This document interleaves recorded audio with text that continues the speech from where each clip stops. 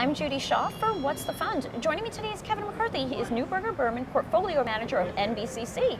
Kevin, wonderful to have you on the show. Thanks for joining me. Judy, thank you for having me. Now, quick note to our viewers this interview is for informational purpose only. The NYSE doesn't recommend any investments or investment strategies. All right, Kevin, what's the fund you're talking about?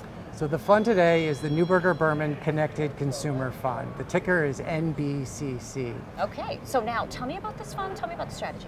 The premise behind it is a mega trend within consumer that focuses on the emerging demographics of Generation Y and Z. And why we think this is so important is because these generations are the first digitally native cohorts. And what that means is they leave behind a lot of digital residue for our process to be able to track. The, the basic premise behind our fund is that mind share today, or behaviors today, are a proxy for future wallet share tomorrow. Okay, so now where can viewers go to learn more about NBCC? www.nb.com. All right. Kevin, thanks for joining me on What's Fund. Thank you for having me.